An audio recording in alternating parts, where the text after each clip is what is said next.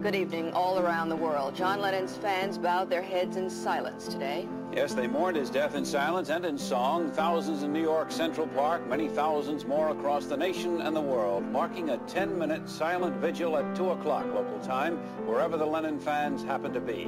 The silence falling also in Chicago, Philadelphia, Miami, Memphis, Detroit, and other cities. A report now on the Central Park observance from John Henry. The silence was almost total here in Central Park this afternoon, except for the sound of the helicopters circling above. Every human being, maybe as many as 200,000, who had gathered here to pay silent tribute to John Lennon did exactly that.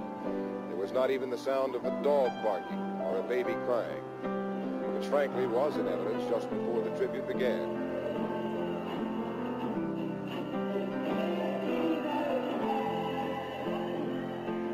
Then at 2 o'clock, the recorded music which had filled Central Park was shut off, and the silent vigil began.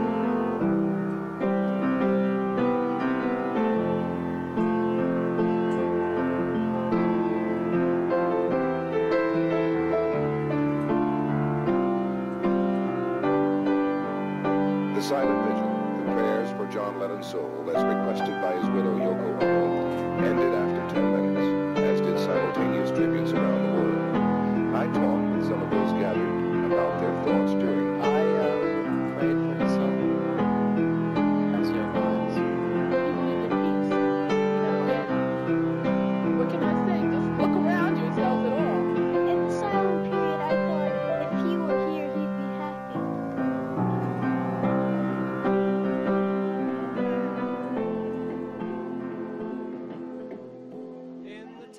In Central Park, John Habrick, News 4 Manhattan.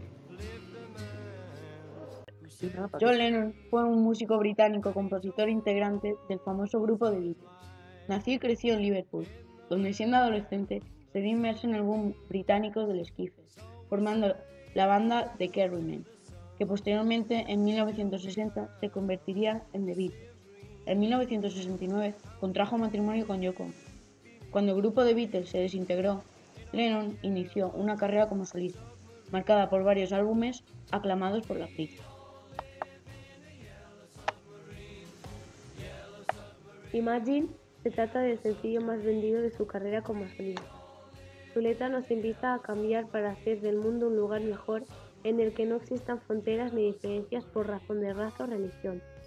Nos anima a querer ser mejores personas, sencillas y que valoren lo que la vida les dio.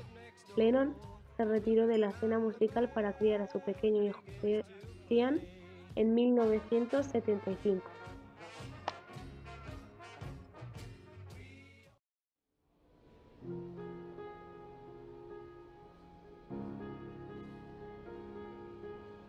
El lunes 8 de diciembre de 1980, el músico John Lennon fue asesinado a bocajarro por un fan que le disparó hasta en cinco ocasiones a la entrada del edificio donde residía.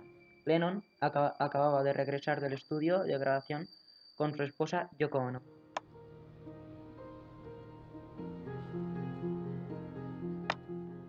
Al día siguiente, Ono emitió una declaración contundente. No habrá funeral para John, y concluyó. John amaba y rezaba por la raza humana. Por favor, hagan lo mismo